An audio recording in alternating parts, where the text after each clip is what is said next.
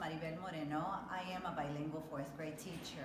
I work in the south side of Chicago and I support and stand uh, with Dreamers. I believe everyone should have an equal opportunity uh, in education regardless of their immigration status.